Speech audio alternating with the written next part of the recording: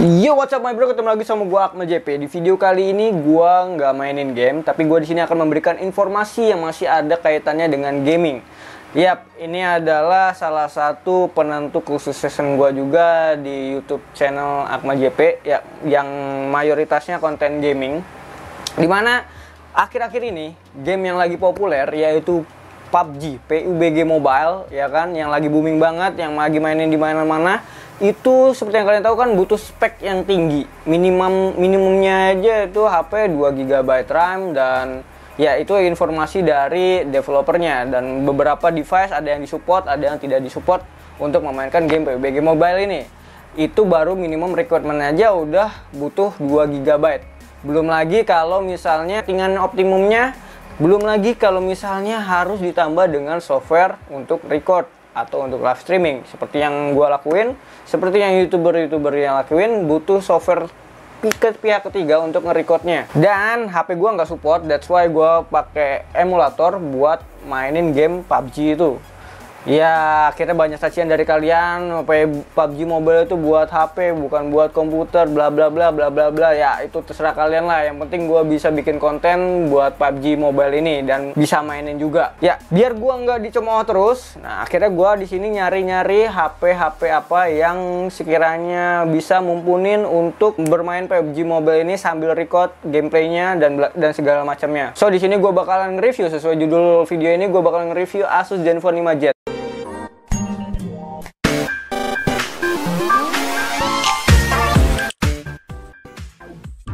Tapi sebelum gue lanjut, gue di sini mau ngasih tahu ke kalian bahwa gue nggak review barangnya langsung. Seperti yang kalian tahu, barangnya masih belum bisa dibeli. So, di sini gue bakalan memberikan informasi sejelas-jelasnya. Jadi nggak usah khawatir, videonya bakalan mengecewakan karena ini lebih informatif daripada sekedar cuman unboxing yang ngebuka isi boxnya aja. Kasih informasi ke kalian apa aja speknya, walaupun beberapa sudah diflorkan dan kita akan ngebandingin dengan brand lain dan membandingkan juga uh, harga dan spesifikasi dan apakah ini HP worth it atau enggak untuk dibeli buat kalian semua. Ya seperti yang gue bilang tadi, tujuan dari gue nge-review ini adalah gue pengen uh, punya device yang bisa buat mainin game PUBG dan mensupport game PUBG itu. So di sini gue langsung aja kita akan buka Antutu benchmark. Ya seperti yang kalian tahu acuan dari performance uh, handphone itu adalah dari Antutu benchmark. Banyak banget reviewer-reviewer youtuber-youtuber itu nge-review Antutu benchmark. Di sini gue bakalan ngebuka rank Antutu benchmark bulan April 2018 Ya, di sini gue udah buka uh, situs Antutu Benchmark atau uh, situs resminya Antutu lah. Dan di sini tertera uh, top 50 ranking Antutu yang mana dimenangkan Samsung S9 Plus dengan skor Antutu 264.638. Dan kita bakalan scroll ke bawah. Di sini kalau kalian lihat, gua nggak menemukan Asus Zenfone 5Z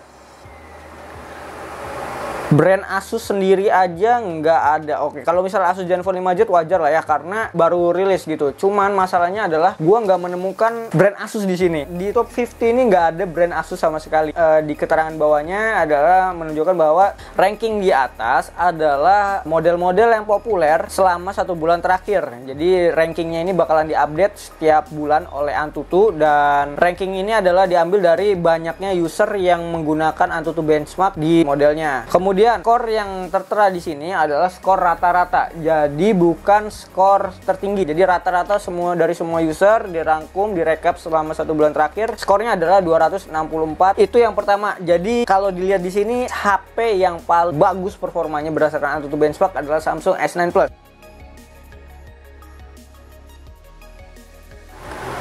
Oke, sekarang kita bakalan langsung masuk ke Asus Zenfone 5Z-nya, guys. Ya, seperti yang kalian tahu ya, barangnya kan di sini masih goib. Yang baru uh, dirilis informasi resminya kapan bisa dibelinya itu masih Asus Zenfone 5. Sedangkan Asus Zenfone 5Z masih belum tahu sampai sekarang gue sampai video ini dibuat gue masih belum tahu kapan HP itu bisa dibeli. Ya kalau udah dirilis ya udah dirilis 17 Mei yang lalu tapi barangnya belum tahu kapan bisa dibeli. Karena waktu perilisan akhir bulan April kemarin yang Asus Zenfone Max Pro M1 itu yang 6 GB nya aja masih belum bisa dibeli. Barangnya masih goib.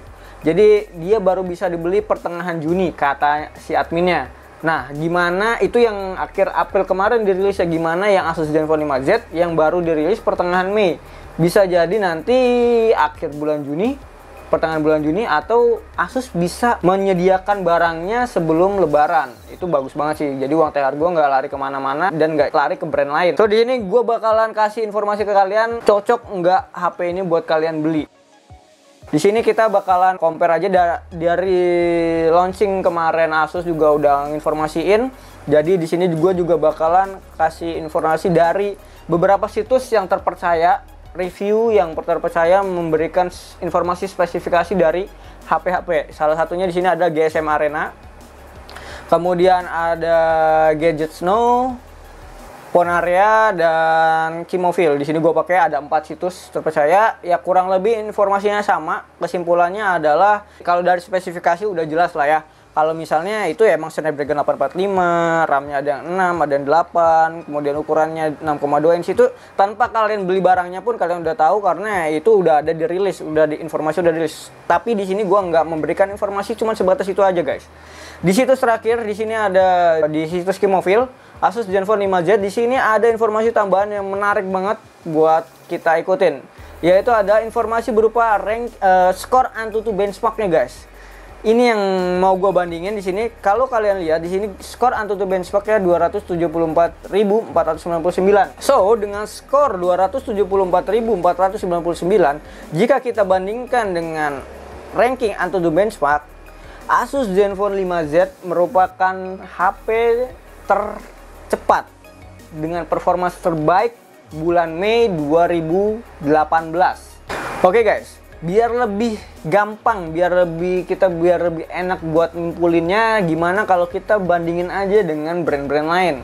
Oke, di sini gue udah nyiapin situs untuk mengkompernya. Salah satunya ada GSM Arena. Di sini kalian bisa mengcompare uh, eh, HP dengan memilih HP kalian yang ingin kalian bandingkan, Asus Zenfone 5Z, kemudian klik compare Kemudian pilih uh, saingan kalian dan biar gampang melihatnya di sini kalian tinggal pilih difference sehingga kalian bisa lihat perbedaannya. Gue di sini membandingin sama Xiaomi Black Shark ya karena dia uh, eh, HP gaming uh, terusan setelah Razer Phone dan gue bandingin lagi sama Samsung Galaxy S9 karena dia pemegang rekor Antutu Benchmark bulan April 2018. Oke,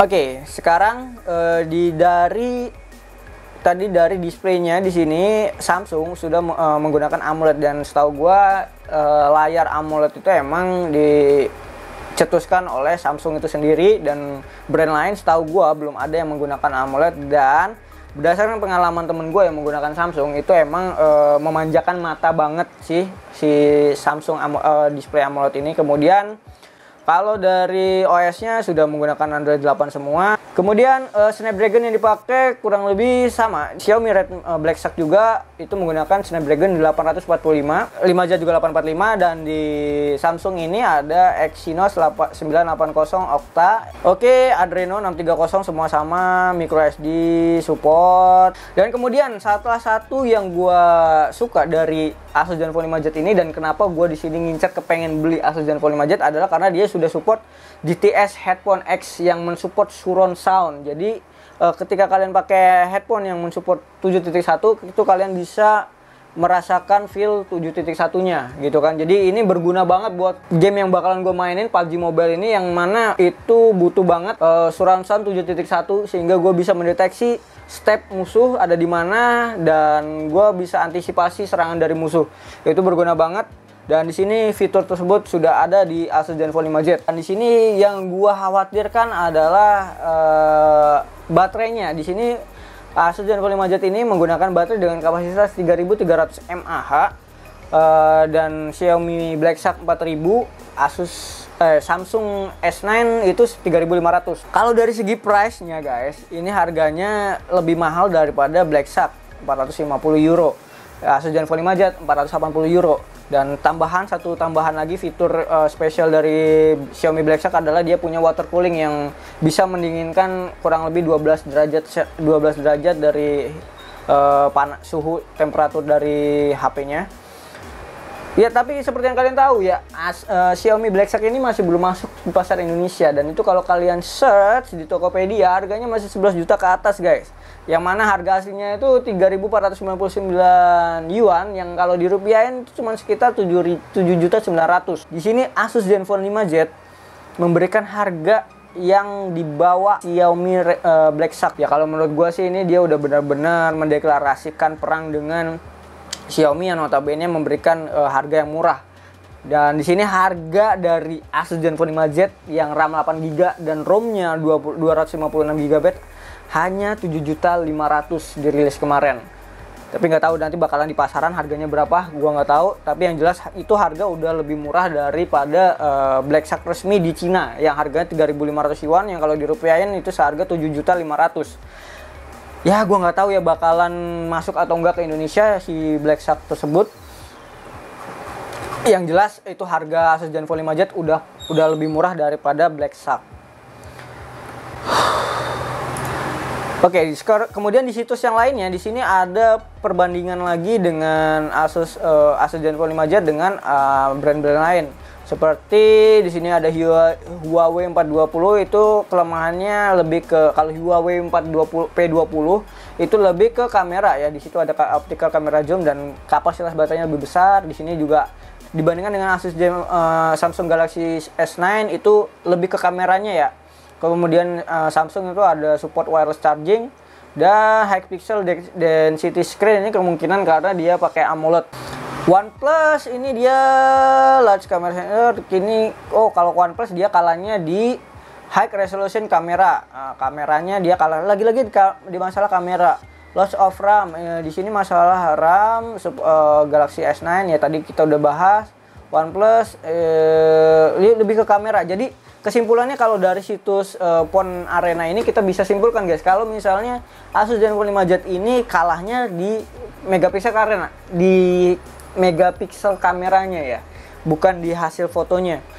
Ya walaupun uh, tapi di sini Asus Zenfone mengdefense ya mempertahankan diri bahwa produknya ini memiliki kamera dengan kualitas yang baik dengan dengan hasil di Exomark-nya poin 93 dan dia sampai mengundang fotografer waktu perilisan kemarin tapi masalah kamera ini gue udah kesampingkan ya karena uh, gue nggak begitu mempermasalahkan masalah kamera. Tapi kalau buat kalian yang mau bahas masalah kamera di sini dia support uh, kamera uh, intelijennya. Jadi kalian kalau misalnya gue kasih gambaran aja yaitu di waktu di perilisan kemarin itu kalau kalian foto misalnya rumput dia langsung mendeteksi kalau misalnya ini foto rumput sehingga hasil foto rumput kalian bagus.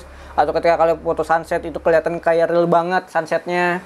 Ya kurang lebih seperti itu guys. Jadi dengan uh, intelligence-nya si kamera yang dibuat sama Asus ini dia bisa menghasilkan uh, kualitas gambar yang lebih baik daripada kamera biasa yang nggak ada uh, intelligence-nya.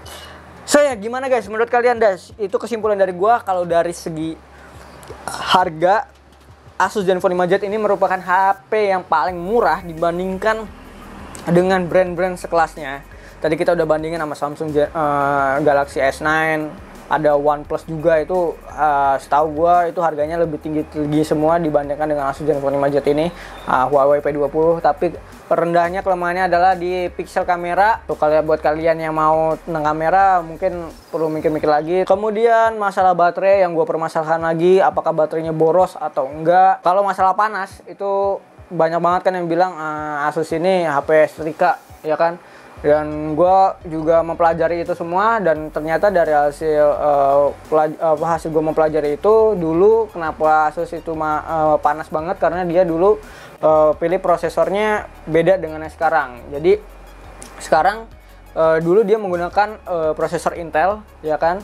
Sekarang dia menggunakan prosesor uh, Snapdragon 845 dan itu rata-rata hampir dipakai hampir di semua HP sekarang pakainya Snapdragon, Qualcomm Snapdragon dan harusnya nggak ada lagi masalah uh, eh, HP setrikaan yang panasnya terlalu banget gitu harusnya 11-12 dengan brand-brand lain. Jadi masalah HP panas itu nggak jadi masalah.